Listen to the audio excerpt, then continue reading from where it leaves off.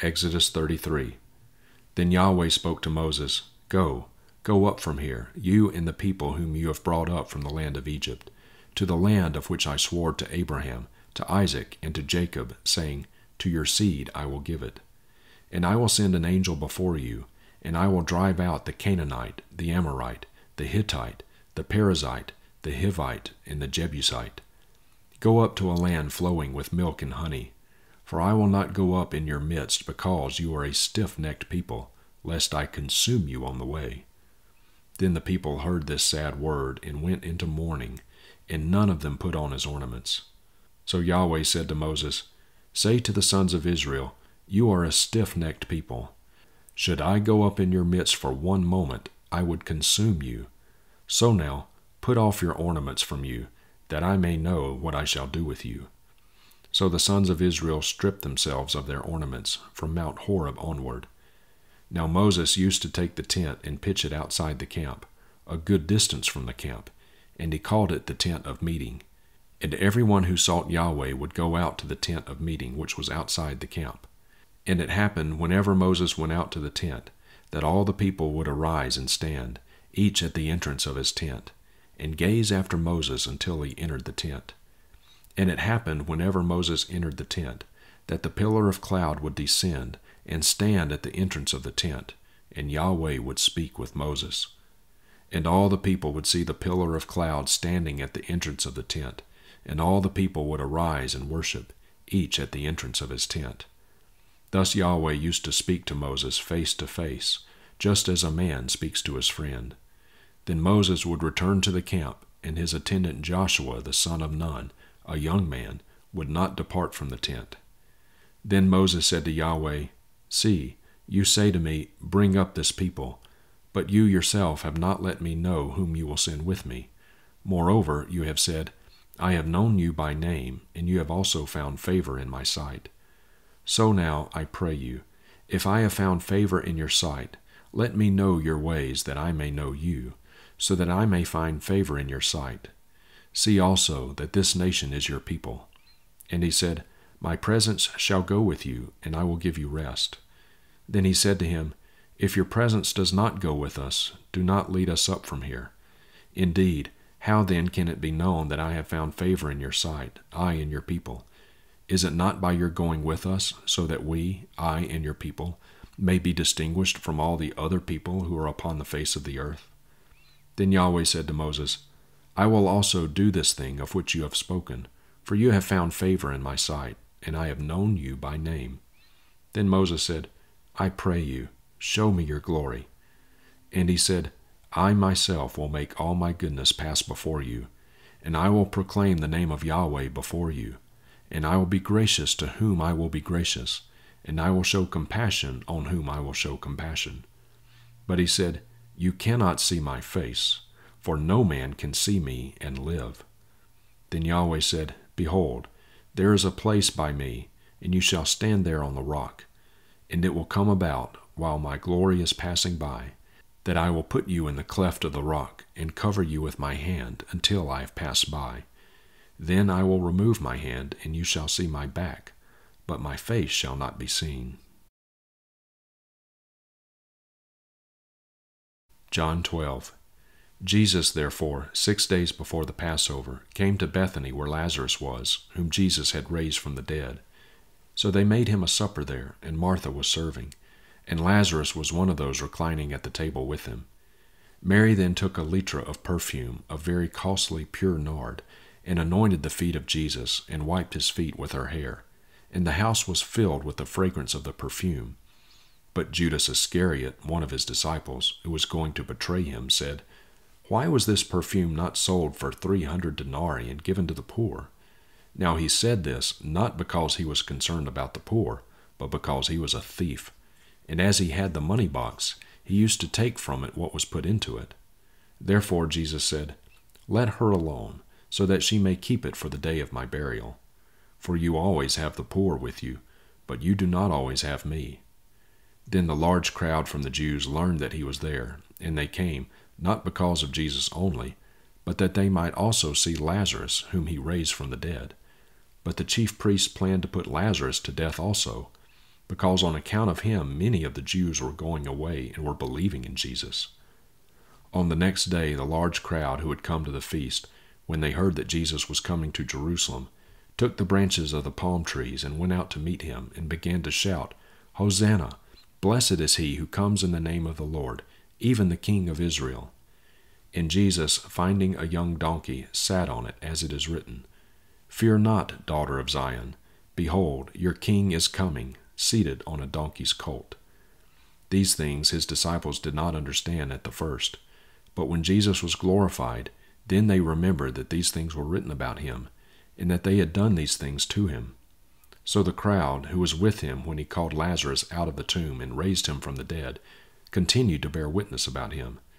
For this reason also the crowd went and met him, because they had heard that he had done this sign.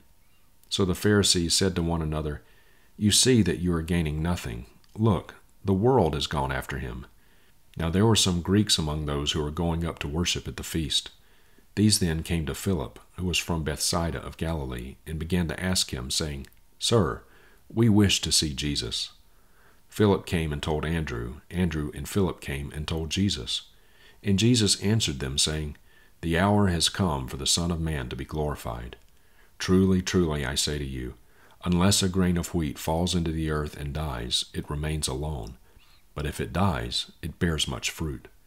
He who loves his life loses it and he who hates his life in this world will keep it to life eternal. If anyone serves me, he must follow me, and where I am, there my servant will be also. If anyone serves me, the Father will honor him. Now my soul has become dismayed, and what shall I say? Father, save me from this hour? But for this purpose I came to this hour. Father, glorify your name. Then a voice came from heaven. I have both glorified it and will glorify it again. So the crowd of people who stood by and heard it were saying that it had thundered. Others were saying, An angel has spoken to him. Jesus answered and said, This voice has not come for my sake, but for your sake. Now judgment is upon this world. Now the ruler of this world will be cast out. And I, if I am lifted up from the earth, will draw all men to myself. But he was saying this to indicate the kind of death by which he was about to die. The crowd then answered him, We have heard from the law that the Christ is to remain forever. And how do you say, The Son of Man must be lifted up? Who is this Son of Man? So Jesus said to them, For a little while longer the light is among you. Walk while you have the light, so that darkness will not overtake you. He who walks in the darkness does not know where he goes. While you have the light, believe in the light, so that you may become sons of light. These things Jesus spoke, and he went away and hid himself from them. But though he had done so many signs before them, they still were not believing in him. So that the word of Isaiah the prophet might be fulfilled, which he spoke Lord, who has believed our report? And to whom has the arm of the Lord been revealed? For this reason they could not believe. For Isaiah said again, he has blinded their eyes, and he hardened their heart, lest they see with their eyes and understand with their heart, and return, and I heal them. These things Isaiah said because he saw his glory, and he spoke about him. Nevertheless, many even of the rulers believed in him, but because of the Pharisees they were not confessing him, for fear that they would be put out of the synagogue. For they loved the glory of men rather than the glory of God. And Jesus cried out and said, he who believes in me does not believe in me, but in him who sent me. And he who sees me sees the one who sent me. I have come as light into the world, so that everyone who believes in me will not remain in darkness. And if anyone hears my words and does not keep them, I do not judge him, for I did not come to judge the world, but to save the world. He who rejects me and does not receive my words has one who judges him. The word I spoke is what will judge him on the last day. For I did not speak for myself, but the Father himself who sent me has given me a commandment, what to say and what to speak. And I know that his commandment is eternal life. Therefore, the things I speak, I speak just as the Father has told me. Proverbs 9 Wisdom has built her house, she has hewn out her seven pillars. She has slaughtered her cattle, she has mixed her wine, she has also prepared her table. She has sent out her maidens. She calls from the tops of the heights of the city. Whoever is simple, let him turn in here. To him who lacks a heart of wisdom, she says, Come, eat of my bread, and drink of the wine I have mixed. Forsake your simplicity and live, and step into the way of understanding. He who disciplines a scoffer receives disgrace for himself, and he who reproves a wicked man receives injury for himself. Do not reprove a scoffer, lest he hate you. Reprove a wise man, and he will love you. Give knowledge to a wise man, and he will be still wiser. Make a righteous man know it, and he will increase his learning. The fear of Yahweh is the beginning of wisdom, and the knowledge of the Holy One is understanding. For by me your days will become many, and years of life will be added to you. If you are wise, you are wise for yourself and if you scoff, you alone will bear it.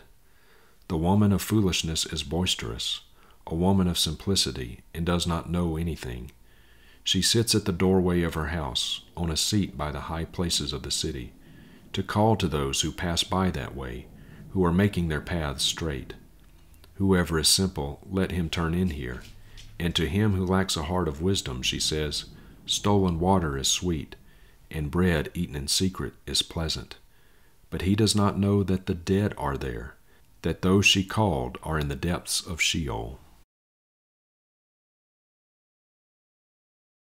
Ephesians 2 And you were dead in your transgressions and sins, in which you formerly walked according to the course of this world, according to the ruler of the power of the air, the spirit that is now working in the sons of disobedience, among whom we all also formerly conducted ourselves in the lust of our flesh doing the desires of the flesh and of the mind, and were by nature children of wrath, even as the rest.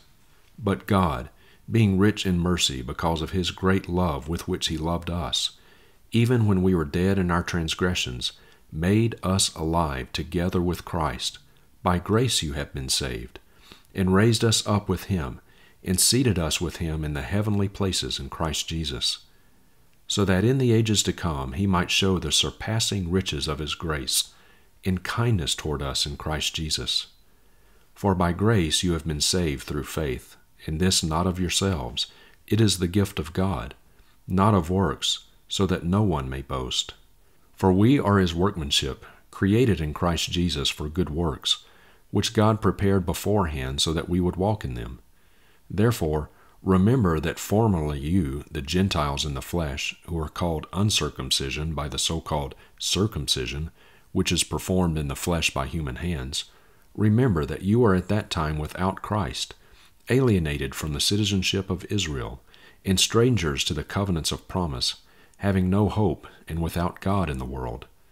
But now in Christ Jesus, you who formerly were far off have been brought near by the blood of Christ.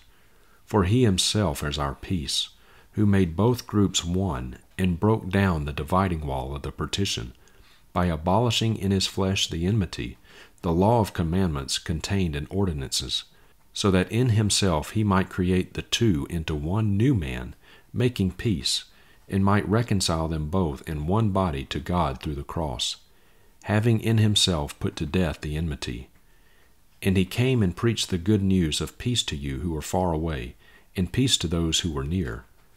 For through him we both have our access in one Spirit to the Father. So then, you are no longer strangers and sojourners, but you are fellow citizens with the saints, and are of God's household, having been built on the foundation of the apostles and prophets, Christ Jesus himself being the cornerstone, in whom the whole building, being joined together, is growing into a holy sanctuary in the Lord, in whom you also are being built together into a dwelling of God in the Spirit.